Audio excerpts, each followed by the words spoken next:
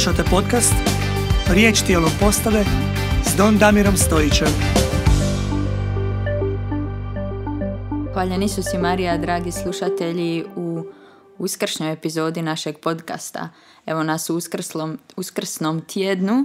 Uh, u principu još uvijek ga slavimo, jel tako Don Damire, uskrs, proslava uskrsa traje liturgijski tjedan dana. Tako je, vazmena osmina, a vazmeno vrijeme, evo, sve do 50 50 dana, tako da dugo je korizma trajala, ali još du- duže slavimo. Pa sretan vam i blagoslovljen uskrs svima. Uh, evo, ja, I ja se ubacujem sa čestitkama sretan i blagosloven uskrs svima. prošli smo i vazmeno trodnevlje, uh, najsvetiji dio godine. Uh, liturgija je jako lijepa bila, pa koji je tvoj najdraži, koja ti je najdraži dan tog? Um, pa ja bi, e, ja bi dva trenutka, evo, mislim, baš smo raspravljali gore, gore mi svećenici kako u hrvatskoj kulturi, u našoj liturgijskoj baštini ima puno, puno, puno više um, baštine, pjesama, običaja vezano uz uh, veliki petak, kao da mi Hrvati bolje volimo korizmo i patnju i pokoru od, od vazma, ali Em, i, I to se vidi kod ljudi, na primjer, nevjerojatno koliko više, više ljudi dođe, evo recimo, na cvjetnicu ili na veliki petak, nego na vazmeno obdijenje, što, što je malo neobično, ali eto, em, meni, ja bi izdvojio dva trenutka zapravo, ne, ne, teško mi je reći koji mi je dan najdraži u to trenutno, a dva trenutka vazmenog bdjenja i stvarno em, potičem sve ljude, sad je, mislim, sad će to biti opet za godinu dana, ali stvarno,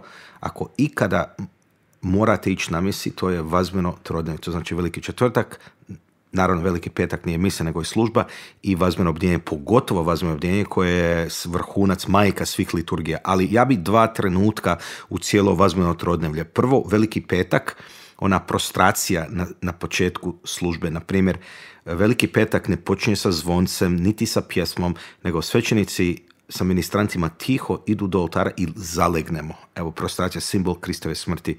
Evo, taj, to je meni onak e, tako svečano, tako sveto nešto.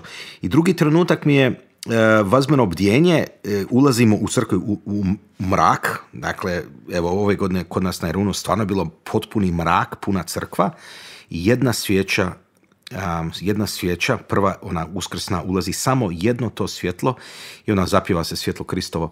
Rekao, ta simbol, taj mrak, Isus simbol, kroz simbol svijeće ulazi u mrak, u naš svijet. I naravno, povezano s time, ja sam ove godine predvodio vazmeno obdjenje kad sam zapjevao slavu. Dakle, do tada nema uopće orgulje, nema, nema i tako. I ona, ja zapjevam slavu, ona upali se sva svjetla, um, um, zvo- zvonca, zvoni, zvona zvone, ba- baš se, baš se naježim. Ono. Evo, to su ta dva neka trenutka koji su prekrasni. I ove godine, samo bi dodao, imali smo misu Zornicu na uskrs šest ujutru i to je isto bilo lijepo. Ja, ja je nisam predvodio, nego sam došao pričešćivati.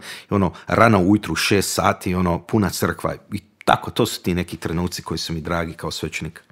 Kad si spomenuo vazmeno bdjenje, uh, meni osobno je predivan i hvalospjev uskrsnoj svijeći, baš su stihovi jako posebni. Negdje sam čitao da je Mozart rekao da bi on volio, on bi sve dao da može biti potpisnik tog hvalospjeva. Um, evo, i da ne zaboravimo, ako ne znate o čemu se radi, evo, čisto da znate, stavit ćemo u linku um, jednu verziju da čujete, to, to je, ja, ja mislim, u našoj liturgskoj baštini najljepša pjesma u našoj liturgiji. Dakle, vazmeno taj, čak je Mozart rekao da bi sve dao da može biti potpisnik kao autor tog teksta i, i, i te note. Pa ćemo, ako ne zaboravimo, stavit ćemo dolje u, u, u fusnotima uh, link da, da, da poslušate vazmeno, um, uh, hvalospjev uskrsnoj svijeći. Može. A mi smo danas, odnosno ovaj tjedan za vas pripremili jedno pitanje, ali je bombastično. Biće dosta za cijelu epizodu. E, pitanje postavlja Miro iz Dalmacije i kaže, dragi naš Don Damire, više puta sam čuo od ljudi sljedeće pitanje. Ako Bog zbilja postoji, zašto se svima ne objavi te pokaže ljudima koja je vjera prava? I postoje li načini na koje se može dokazati da je naša rimokatolička crkva prava, a ne, na primjer, pravoslavna, protestantska ili pak neka sasvim druga religija? Ili se može od svih njih uzeti ponešto? Hvala vam od srca. Evo ga, odlično. Miro iz Dalmacije. Miro, evo, Miro, sretan uskrs. Um, ok, tu su dva pitanja, tako da ja ću ovo tretirati kao dva pitanja. Naravno, oni su povezani jako. E, pa ćemo krenuti od ono prvo pitanje. Ukratko, zašto se Bog svima ne objavi? Uzimajući u obzir, znaju, pretpostavljajući da je On svemoguć, da nas voli, um, zašto se ne bi On jednostavno svima objavio na tako spektakularan način da uopće ne bi bilo sumnje više da, da on postoji. I, i neko može uz to reći, pa i ne prihvaćam argument da, da moram vjerovat, da, jer neki svećenik ili, ili i ja sam možda i to znao reći, pa i to ću i tvrditi, ali to nije moj cijeli odgovor, pa znaš, ne bi vjera bila vjera da ti imaš sve dokaze, moraš vjerovati. Ok, neko može reći, ok, ne prihvaćam to, ne, nije fair. Ja želim da se on meni objavi, onda više nema sumnje, nema više teoloških rasprava i tako dalje. Ja priznam, istina, Bog bi mogao, mogao, Bog je sve moguće, on bi mogao um, se objaviti na takav način da apsolutno nema nikakve sumnje da on postoji i onda bi svi u njega vjerovali. Ok, idemo redom. Odlično pitanje. Prvo, e, čim netko postavlja ovo pitanje, pretpostavka je da, da si ti Bog, evo recimo Miro ti slušaš, ili da sam ja Bog, da, da bi ja imao svoj način kako bi ja to napravio. Ja za sebe odmah rekao Bogu, hvala što ja sam Bog, jer ja sa mojim glavom, mojom glavom koju imam najvjerojatnije bi nešto krivo napravio, ali pretpostavka je da postoji pravi način kako Bog to treba raditi. Ali prije nego što točno odgovorim na to pitanje, ja postavljam još jedno pitanje, a to je jedno potpitanje. Ok, ako se već postavlja to pitanje zašto se Bog svima objavio, to znači javno protupitanje, koji bi bilo najbolji način da se Bog objavi? Ali zapravo još jedno pitanje prije toga, a to jest zapravo um, zašto bi se prvo, ja mislim da je važno, zašto bi se Bog uopće objavio? Okay. Ajmo reći pretpostavljam, Bog je stvorio nas, Bog je stvorio svijet, Bog je stvorio ljudske osobe, ljudski rod. Ok, zašto bi se on nama uopće objavio? Ja mislim prvo moramo čačkat po tom pitanju. Um, sigurno nije zato samo da mu vjerujem. Što, šta će njemu naša vjera? Mislim, to što ja njemu vjerujem, što, šta će to njemu? On je Bog, on, on, on može stvoriti vjeru ako treba. Dakle, idemo malo dublje. Zašto, zašto je Bog Za, zašto bi se uopće objavio? Negdje koristi, ja krećem od sebe, evo. Najvjerojatnije zašto, zato što bi htio ući u neki odnos nama, zato što nas voli. Dakle, zato što nas voli. I on želi se nama objaviti. Dakle, on nas je stvorio i sad on želi se nama približiti zato što, se, zato što nas voli. Ok. Na drugo pitanje, na koji način? Na koji način? Ok, ja, ja Miro pitam i tebe, ok, na koji način bi to napravio? Ja negdje u razmišljanju i u spremanju ovaj odgovor došao sam do nekih pet načina mogući da se Bog nama svima objavi. I ja pitam sve vas koji služite da si ti Bog, kako bi se ti objavio? Ok. Prvi način negdje, šta ja znam, evo, malo u razmišljanju, ok, ja da sam Bog, možda bi uklonio taj neki zastor i, i, i svima bi u trenutku objavio slavu, neka bještavila ili e, evo, eto, neke kozmičke znakove, padanje zvijezda, mjesec bi puko, sunce. Međutim, uzimajući obzir da Bog želi s nama ući u odnos, um, možda, možda, možda bi nama bilo teško ući u odnos za takvim Bogom kozmičkim, abstraktnim, dalekim um, i možda ne bi svi bili spremni na takav način ma čak da pokaže nam te kozmičke objave, ja, ja, ja ne znam te znakove, Bože moje, možda bi, bi, bi ne bi bili spremni, to je nešto neosobno hladno, ok, idemo dalje. Možda želimo Boga da, želim da nam se Bog objavi na, na takav način da se On svima objavim, svim ljudima svih vremena, ali, ali opet kako bi On to napravio? Nema pojma kako bi On to, On bi se morao svakoj osobi se objaviti na neki način. Možda neka nadnaravna infuzija znanja u našem mozgu. Na primjer, kad dođeš u dobi razuma, 7-8 godina, on samo puf, ulije znanje u tvoju glavu, ej, ja sam tu. A nekako mi se čine da je to Bog kao neki trgovački putnik koji kuca vrate, hej, ja sam Bog. Um, još jedan način možda da postane jedan od nas, da on uđe u naše vrijeme, u naš prostor, u našu povijest, da nama postane sličan u svemu kako bi mi mogli njega i shvatiti i razumjeti. Imam dojem da, da kad bi on uklonio taj zasor, kad bi nam dao kozmičke znakove, nekako ne bi ga upoznali. opet, jest da to bi bilo neka objave, ali opet ne, ne znam, ako, ako cilj je da on nas upozna, da uđemo s njim u odnos, kako će ja ući u odnos sa nekim kozmičkim bogom? Um, još jedan način jest da on postane nama sličan u svemu, da dođe među nama, drugim riječima da dođe pod našom kožom, da bude rame uz rame uz nas, da nam se približi. Ok, evo, ostavljam um, izbor ljudima, ja sam za ovaj zadnji izbor. ja mislim da je to najbolji način. Ok, idemo dalje. Kad bi već se odlučili za taj način da si Bog, ja, ja bi se odlučio na taj način, ok, na koji način, kako bi ja došao e, kao kralj, kao političar, kao bogataš, kao možda vojskovođa, ili možda kao neki skroman, ponizan siromah, rođen, ajmo reći, u nekoj pećini, u štalici, položen u, u, u ono iz čega životinje jedu u jaslicama, um, rođen možda na rubu carstva, izvan grada, u siromaštvu. Ja ne znam što za mene tiče, ja bi se mogao više poistovjetiti sa takvim Bogom, odnosno s takvom osobom, ja bih rekao, nego sa nekim kraljem, svemoćni kralj, neki politički vojskovođa i tako, i tako dalje. Um, dakle, pokušavamo proniknuti Božju mudrost, zašto je Bog došao onako kako je Božo došao jer, jer toliko nas voli da, da, da je se zapravo spustio, ponizio se. Ali ni ovo nije dosta. Može neko reći, uh, ne može se Bog samo pojaviti u povijesti i svima reći da je Bog. Ono, zamisli da, da Bog i dođe u povijest u jednom trenutku i svakoga vuče za rukav i govori, hej, ja sam Bog, ja sam Bog. Um, a što, što bi bilo kad bi taj Bog koji je došao, da je on najavljen da će doći? Ipak je najavljen. I ovim putem govorim, evo, naš Bog Isus Krist je jedina osoba u povijest čovječanstva koji je ikad rođen, čije rođenje i dolazak najavljeno. Moj dolazak nije na jest, kad mama i tata znali da sam ja začet, onda sam najavljen. Ali Isus Krist, ljudi, je najavljen, najavljen tisuću godina prije njegovog rođenja, najavljeno je gdje će doći, kad će doći, to je Daniel 9, gdje će doći, a prorok Mihej 5. Dakle, i, i ne samo to, toliko je toga najavljeno o njemu kod Izaije, kod, kod, kod Miheja, kod, kod Ezekijela. Dakle, on je najavljen.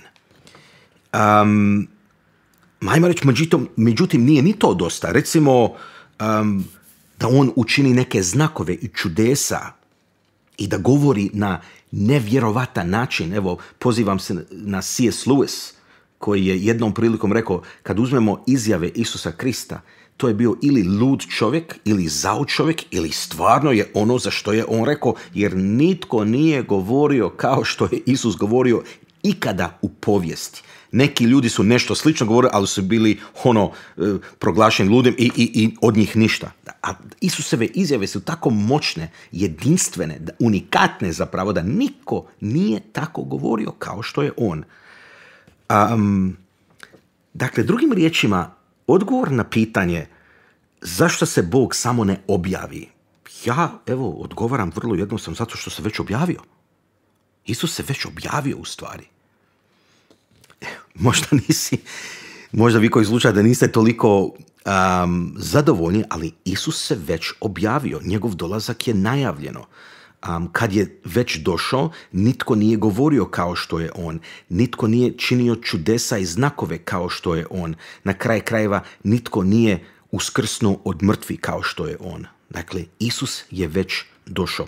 Je, znam, neko sad govori da, ali ja tu nisam bio prije 2000 godine, ja to nisam vidio, ali ali Bog nadilazi i prostor vrijeme kao što ja, kao što ljubav, kao što moj um, kao i, i mi možemo, uh, dakle, zaobići i vrijeme i prostor našim mislima i tako dalje. Dakle, onda bi neko rekao, dobro, zašto nije došao prije 4000 godina, zašto nije došao prije 50 godina, ja sam rođen 73. ja bi mogao isto prigovoriti. Dakle, um, taj argument isto ne stoji, ali on, on je se objavio i to na najspektakularniji način najavljen je gdje će doći, kad će doći i kako će doći i kako će živjeti.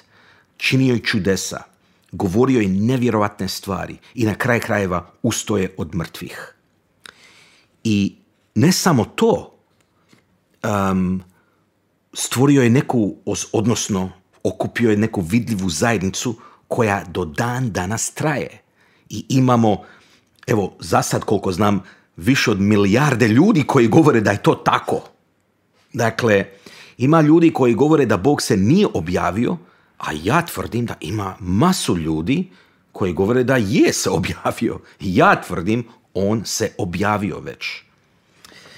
Um, ok, Pavao, Pavao će reći u Rimljani 1, um, 19.20, kao, jer što se o Bogu može spoznati, očito im je. Bog im očitova, u istinu, ono nevidljivo, njegovo, vječna, njegova moć i božanstvo, onamo od stvaranja svijeta umom se dijelima razabire tako da nemaju isprike. Šta je Pavao tu rekao? Pavao u toj prvoj glavi piše židovima u Rimu, ali svim eh, građanima Rima tada govori u, biti da, da mi svojim umom možemo dakle dokazati da je se Bog objavio. Dakle, u samo u stvorenju, Pavao ovdje kaže, samo promatrajući stvorenje zapravo um, mi možemo reći da je se Bog objavio u stvorenju, a kamoli u ovim drugim stvarima.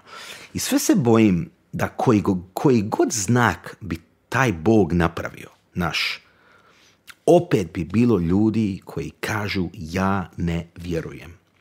Na kraj krajeva, ovo je pitanje vjere. Um, ovo je pitanje vjere. Um, i je istina vjera da bude vjera, evo Pavao kaže ne u gledanju nego, ne hodite u vjeri, ali ja tvrdim da je, se, da je se Bog objavio. I vrlo, vrlo konkretno. Na takav način da je ušao pod našom kožom, postao je nama sličan. be, on je bio beba, slavili smo Božić prije dva, tri mjeseca, tri mjeseca mjeseca. I podnio je sve ono što smo mi podnijeli. A zašto? da nam se približi. Možda je on preblizak, toliko blizu je nama došao zapravo, možda ga ne vidimo, kao ono, znate kad je neko u šumi, pa ne vidi stablo od, od šume, pa, pa on je tako blisko nama došao da je trpio. I tako je blizu nama došao da je čak i umro. Ali je uskrsno. Evo, tako, dakle, objavio nam se. Evo, to je moj odgovor na to pitanje. On se već objavio i, i i pitanje hoćeš li vjerovati i prihvatiti da je se on objavio. A sad si na neki način već i dokazao da je katolička bog, vjera, odnosno kršćanstvo prava, jel si govorio pa kršćanstvo da, je, kršćanstvo da, ovaj, ali onda tu se spominje protestanti i, i pravoslavci i tako dalje. Dakle, Aha, u, u kršćanstvu. Jer ja sam evo jedan primjer, baš sam ovaj, nedavno gledala serijal pričao o Bogu s Morganom Freemanom i mogu ti reći da me malo me je protreslo, odnosno ušla sam u neku krizu vjere kad čovjek vidi uh, serijal je rađen po principu da on obrađuje određeni fenomen u smislu vječni život ili neka druga pojava u religijama i obrađuje ih sa gledišta različitih religija svjetskih. I kad čovjek vidi to kako u svim religijama postoje vrlo, vrlo sličnih stvari, mm vrlo sličnih fenomena, stvarno čovjek dođe u krizu da se pita pa kako, ću ja znati da je baš moja vjera prava, mhm, da je mhm. katolička vjera prava. Okay. E, pa evo. Ok, e, odlično, odlično pitanje i to je... Mislim da i Miro evo to pita. mm kako drugim argumentirati zašto je baš katolička vjera prava Zašto baš katolička? Ok. Religija i vjera. Kad e, odgovaram na ovo pitanje, moram znati ko stoji predamnom. Ok, znam da je tu Lucija sad predamnom, ali ja znam da tisuće ljudi i hvala vam što slušate. znam da tisuću ljudi ovo slušaju i, i slušat će ovo i možda tu ima ateista, možda tu ima agnostika, možda tu ima muslimana, hinduista, um, panteista, politeista i tako dalje. I kad uđemo u raspravu, ja sam, a ja prilazim kao, ne samo kao rimokatolik, nego kao, kao službenik rimokatoličke crkve, kao svećenik, ja moram znati koga ja imam kad razgovaram sa ateistima ili agnosticima, jako je teško kreniti, ja bih svima krenio o, o dokazu Bože postojanja i, i onda tek moram doći do katoličanstva jer, jer ateist uopće ne priča da Bog postoji, a kamoli um, katoličku crkvu kao jedina prava denominacija ili opredjeljenje. Agnostik također negdje, negdje mislim ima, naravno, Bogu fali, ima dobro namjerni i, i, ja sam raspravljao s takvima koji, koji stvarno su tražitelji istine. Agnostik isključuje uopće mogućnost da se može saznat nešto. Jel? Dakle, uvijek moram znati koga imam kad pričam sa pravoslavcem, tema će automatski doći do autoriteta, um, prvenstvo svetog oca pape i tako dalje, jer mi pravoslavci jako, jako puno dijelimo sa protestantima, i to opet zavisi kojima, ima, imamo luterane, anglikance, opet imamo zajedničko, imamo i tamo gdje se mi razlikujemo. Ali ja bi općenito pristupio ovom pitanju, zašto ja tvrdim kao svećenik, katolički svećenik, da je rimokatolička crkva ona prava crkva, što kad ja kažem ide stvarno ljudima na živce. Manje bi to išlo ljudima na živce kad bi ja rekao ovo je moja crkva, za mene ona je prava i to je to. kao i vi možete, kao i, i vaša crkva jednik, jednaka na tom rangu. Ne, ja, ja, ja tvrdim, i to je možda će me neko, ne mene dam, Don Damira, nego našu crkvu inače, optuži da smo arogantni, ali ja stvarno tvrdim da katolička crkva je, je prava, ima puninu istine. Ok.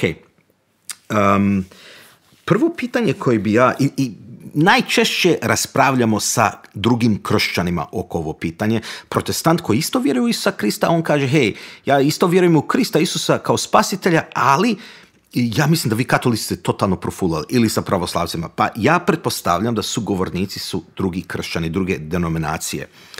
Um, pa onda prvo važno pitanje, a ima oni kršćani koji kažu ne, Isus je bio super, ali kakva crkva, samo, samo Isus i ja, jel? Ok, pa prvo pitanje, važno pitanje, je li Isus stvarno ustanovio crkvu? Ok, to je prvo pitanje koje moramo riješiti. Ja mislim da pravoslavci i neki protestanti i anglikanci će reći pa je. I ja tvrdim isto, Isus je stvarno okupio jednu zajednicu i jedino mjesto gdje se riječ crkva, odnosno eklezija, nalazi jest, o, jest na Isusovim usnama Matej, Matej 16, 17, 19. To je toliko važno da ja to sad moram pročitati. Dakle, um, Isus se naziva Cezare i Filipi, on prita svoje apostole što ljudi govore ko sam ja, a šta vi kaže ko sam ja i, i, i ovako to ide. I Isus kaže ti si sin Boži pomazanik i Isus odgovara blago tebi Šimone sine Jone jer ti to ne objavi tijelo i krv nego otac moj koji je na nebesima a ja tebi kažem ti si Petar stijena i na toj stijeni se gradit ću crkvu svoju i vrata paklena neće je nadvladati tebi ću dati ključeve kraljestva nebeskoga, pa što god svežeš na zemlji, bit će svezano na nebesima, a što god odriješiš na zemlji, bit će odriješeno na nebesima. Ok, ovo je prevažan tekst za nas. Ok, ovdje mi vidimo da Isus odvaja, izdvaja Petra od um, dvanestorice i njemu se izravno obraća mijenja mu ime, a inače biblijski kad god Bog mijenja ime nekome, on daje mu novo poslanje i to ime obično nosi njegov dio njegovog naravi i identiteta. Svega šest, sedam puta u Bibliji se Bog mijenja ime čovjeku. I Isus mijenja ime Šimonu, nije Andriji mijenjao ime niti ovome, nego Petru, odnosno Šimonu, postaje Petar Stijena, Petros, um, i on njemu govori, ja ću graditi crkvu. Ok, dakle, došli smo do toga. Isus je ustanovio jednu crkvu. Ok, to je prvo. Isus je htio crkvu. Jer ima kršćani koji kažu da uopće nije htio crkvu. Ok, ja ne znam kako neko može argumentirati protiv toga. Isus je htio crkvu. Ok, drugo, drugo pitanje, kakvu crkvu? Kakvu je crkvu Isus htio? Um, I je li ta katolička crkva ta crkva? Očito da je htio neku crkvu. Ja imam nekoliko razloga zašto ja tvrdim da Rimokatolička crkva upravo je ta crkva. I samo bi napomenuo, ovdje u našim dokumentima i u prilogu ćemo staviti linkove za to. mislim da je važno da, da znate te dokumente, jer mnogi ljudi imponiraju crku nešto što mi ne govorimo. Jel? Dakle, tu ćemo staviti sigurno um, Lumen Gentium, to je dokument iz drugog Vatikanskog sabora koji govori baš o crkvi, to je prevažan dokument. Um, onda uh, Nostra Etate, to je deklaracija o odnosu crkve prema nekršćanskim religijama i ne bi bilo loše da stavimo Unitatis Redingratio, što je dekret o ekumenizmu i još Dominus Jezus, deklaraciju jedincatosti i spasensku univerzalnost Isusa Krista u crkvi. To su neki važni dokumenti da, evo, stavit ćemo ih čisto ako neko još želi čitati, kliknite na taj link i čitajte dalje. Kakvu crkvu je Isus htio ustanoviti? Mi kažemo u apostolsku vjeru, vjeru, vjerujem u jednu svetu katoličku apostolsku crkvu. Kad čitamo Bibliju, mi vidimo Isus je htio jednu crkvu, nije htio pet crkava, da pače u dvorani posne večere, on kaže, oče, molim vas da oni budu jedno kao što ti ja. Dakle, jednu crkvu. Isus je htio jednu crkvu. Vaj, nemamo dokaz da je htio dvije, tri, četiri, pet crkava. Dakle, zato je svima nama dužnost da radimo, da budemo jedno. Dakle, jedno. On je htio da ta crkva bude sveta, ali po čemu? Um, to imamo u sakramentima. Dakle, on je htio da, da, da mi postanemo dionici njegove naravi. On je rekao, uzmite i jedite, ovo je moje tijelo, ostanite u meni, ja u vama.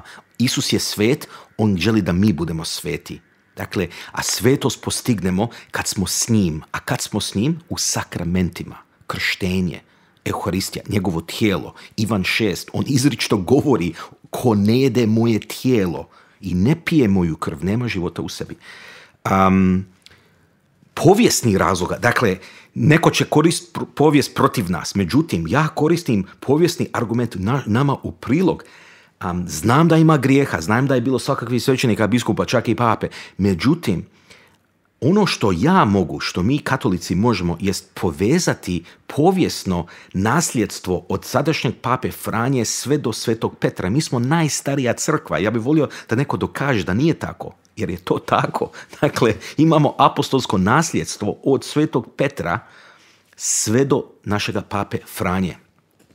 Um, mi smo crkva koja je dala svijetu Bibliju meni je super, ja imam protestantske prijatelje, nama prigovaraju, o, vi uzimate naše pjesme. Rekao, je, priznajem, e, neku pjesmu smo mi preveli, prepjevili, e, prepjevali, koristimo, ali vi, vi ste uzeli našu Bibliju. Dakle, to, to je bolna točka za njih, ali istina, da nije bilo katoličke crkve, ne bi imali Bibliju odakle drugi crpe svoju vjeru. Dakle, um, upravo su pape, rašte sinode, sabore kroz povijest crkve, dali su nam popis knjiga, sveti kanon, um, kanon sveti knjiga, već uh, ono četvr, drugo, treće, drugo, treće, četvrto stoljeće, mi vidimo Biblija je iz, izišla iz krilo katoličke crkve pomoću svetog oca pape i tako dalje. Dakle, to su sve neki argumenti um, da ta crkva je, je, je prava, ima puninu. Samo bi napomenuo, kad ja kažem prava, ja nipošto ne kažem da ne postoji sjeme istine u drugim religijama, dakle, ima, ima, ima dobri stvari u islamu, um, ima dobri stvari u nekim drugim uh, religijama, neću sad nabrajati, a da ne kažem u židovstvu, um, ima odlični stvari u, u, kod pravoslavaca, um, kod protestanata ja se divim žari koji protestanti imaju prema Božjoj riječi, prema slavljenju. Um, ja se divim mističnost pravoslavne crkve um, i ljubavi prema majci Božjoj. Da, da pače, mi smo većina našu mariologiju dobili od istočnih otaca prije nego što smo se razdijelili tragično 1054. godine. Dakle, nipošto kad ja kažem da je katolička crkva prava i tako dalje, da, da, da, da, nema ništa dobro kod drugih. Ne, ono što ja govorim je da crkva, upravo naša katolička crkva, ima puninu istine. Um, kad bi išao negdje dalje, a Lumen Gentium to jako lijepo objašnjava, pravoslavna crkva je odman do nas, to je naša sestrinska crkva i mi, i mi moramo se ujediniti. Um, ima, ima toliko slično nama, samo nas malo dijeli. Jel? naša odjelena protestantska braća iz baptisti, anglikanci, luterani imaju jako dobri stvari, ali ono što ja tvrdim je da katolička crkva ima puninu te istine, dok ovi nemaju. Evo, to, to, to je ne moja tvrdnja, nego naša tvrdnja. I još jedan važan izraz, ako ćete i jedan link otvoriti ovdje kad bi morali, ok, otvorite svakako Lumen Gentium i Dominus Jezus, to su dva linka koji bi stvarno morali, ali ako baš morate jedan samo birat, birajte Dominus Jezus, deklaraciju o, o jedincatosti, spasenskoj univerzalnosti Isusa Krista i crkve. Um, zapravo tamo ima jedan pre, prevažan izraz gdje kažu crkva Kristova subsist in katoličkoj crkvi. Što, šta to znači? Znači da ta Kristova crkva koja ona subsist, ona, ona jest utjelovljena u katoličkoj crkvi. Jel? Dakle, Isus je htio jednu vidljivu crkvu. Um, svi ga žele negdje produhoviti, da je on bio neki bohem, da je on samo htio da mi volimo. Mislim, ja ne znam koju Bibliju vi čitate, a to nije istina. Isus je, je pozvao dvanestoricu imenom. A Isus je dao mandat njima. Isus je njima dao vlast, autoritet. Um, Isus je posebno vlast i autoritet dao Petru da odriješuje grijehe. Kome vežeš ga, bit će odriješeno. Ko ne odriješe, neće biti odriješeno. Dakle, to su prevažni biblijski tekstovi da, da samo ih zanemarimo. Zato kad crkva kaže, naša crkva, katolička kaže da je katolička crkva jedina koja ima puninu istine, u biti to je utemeljeno na riječi Isusa Krista iz Evanđelja i na sveto pismo. Um, tako da ako smo negdje intelektualno i teološki pošteni, e, stvarno naša crkva ima sve to, sve te, te znakove da je jedna sveta, katolička i apostolska. E, to sam zaboravio reći. I kad kažem katolička, mislim na grčku reč katholikos, što znači univerzalnost. I naša crkva je zaista univerzalna. I naša crkva je utemeljena na 12 apostola. Iz tog, iz tog razloga mi imamo hrabrost a i moralnu dužnost reći da je katolička crkva, da, da katolička crkva ima puninu istine. Um, što opet ne znači da zbog grijeha naših članova, a pogotovo mojih grijeha, ja kreću od sebe i od biskupa neki ili prošlost, da to znači da, da, da naša crkva nije prava. Ne. E, kad god neko prigovara za naše grijehe, oni ne govore protiv istine katoličke crkve, oni, nego prigovaraju zašto, zato što ona nije onakva kakva bi trebala biti, njezini članovi. Ali, ali kad vidimo ono što je Isus ustanovio, mi vidimo na jedna sveta katolička i apostolska. Tako da, evo, ukratko, to su ti razlozi zašto je rimokatolička crkva ona, evo, ispravno bi rekao, ona koja ima puninu istine i to je ta crkva koju je Isus Krist htio bilo bi super kad bi, kad bi ljudi, um, evo i potičam vas, posebno znam da ljude zbunjuje povijest. Evo, povijest zbunjuje, ali ja vam kažem svima da povijest nama ide u prilog. Zašto? Jer e, ne uzimajući obzir grijehe njezinih članova, a svako će odgovara za to, počevši od, od papi koji su bili u prošlosti do biskupa, do svećenika i, i lajci, um, ono povijesno što je meni najvažnije jest to nasljedstvo. Da, da Isus Krist koji je izabrao dvanestoricu, da je Petar imao svog nasljednika, u ovom slučaju to bio jedan Lino, pa Klement, pa i tako dalje, da je to neprekidna veza od samog Isusa Krista sve do dana današnjega. I, i Isus daje one ključeve Petru i Petar, ti si, Petar si na toj stjeni, ja ću graditi crkvu svoj. Ti ključevi su prezanimljivi. iz, iz knjige proroka Izaije, jedino mjesto gdje se ključevi spominju tamo u starom zavjetu i, i to jedan, jedan e, dvoranin koji je bio na Davidovom dvoru i koji je imao toliko vlasti da je on mogao izbacivati ljude sa kraljevskog dvora i puštati ljude i onda on nije bio dostajan pa su ključi uzeti od njega pa dano drugima i to su ti ključevi koji Isus daje Petru. Um, ja ne znam kako može neko argumentirati protiv toga. I zadnja, zadnja stvar, crkva mi je omiljena tema, pa stvarno mogu brbljati puno o tome. Um, zadnja stvar jest ono, ja uvijek pitam odjeljenu braću, jel, jel vi izvršavate ono što je Isus rekao, ovo je moje tijelo, uzmite i jedite, um, ko ne jede moje tijelo, ne pije moju krv. Mi to radimo. Um, ja ne znam za druge. dakle, Euharistija. Mi imamo Euharistiju. Isus je to nama ostavio. Tako da to su ozbiljne teme koje svi mi katolici moramo više cijeniti i razmatrati, a i druga naša odjeljena braća um, moraju biti pošteni, iskreni, da sagledaju, da uđemo u iskreni dijalog i evo i da svi postanemo ponovno jedno onako kako je Isus htio. I u principu oni su se i odijelili od katoličke crkve. Tako je. Je bila protestanti svi od 16. stoljeća pa nadalje. Iz nekih dobrih razloga su imali neke zdrave kritike u početku. Luter je imao zdrave kritike prema crkvi koja je možda otišla u jednu drugu krajnost, ali je iz, evo on otišao onda u drugu krajnost i, i napustio eh, jedna prava vjerovanja katoličke crkve. Je, i, i gle, na, na šta je tu zanimljivo, e, mnogi su drugi sveci imali ozbiljne probleme sa crkvom, ali su ostali. Franjo, Franjo Asički je obnovio crkvu iznutra. Um, Ignacije Lojolski, um, Ivan od Križa, to su ljudi koji su se suočili sa problemima unutar crkve, ali su ostali i obnovili je iznutra i na kraj krajeva postali sveci. I Luter je govorio neke ok stvari, ali taj problem s Luterom, to je bilo vrlo lokalno um, stvar njemačke crkve u to vrijeme. Tako da stvarno kad čovjek gleda povijest, to su, to su zajednice koji su zaista se odjelili od matice. Jel? Počeši od pravoslavne 1054. Um, onda uh, reformacija koja počinje tamo 1517. sve do dana današnjega. Još uvijek se odjeljuju. Svako malo... Evo, ja sam gledam moj kvart Jarun, ima barem tri odjeljene crkve. Ono, svako malo pojavi se nova. Gdje je tome kraj? Koliko crkva je Isus htio? Ja mogu reći da naša crkva seže sve do Svetog Petra. Ja, zato ja volim pitati ovu našu protestantsku braću, kad, kad je tvoja crkva osnovana? I oni kažu, o, osnivač je taj i taj. Da vidiš, Isus je osnovao našu crkvu. E, tak, Evo ga. Dakle, zanimljiva tema u svakom slučaju i, i, i zahtjeva veliku vjeru, ali veliku poniznost.